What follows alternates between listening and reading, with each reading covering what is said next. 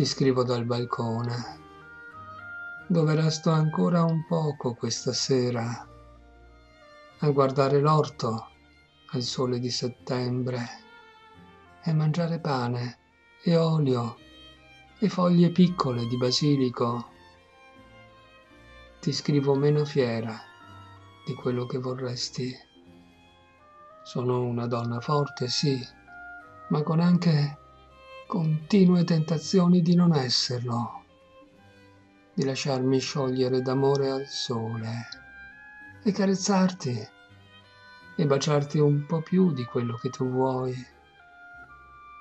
Ti scrivo dal balcone, guardando il fico pieno di frutti e il pero con le foglie malate.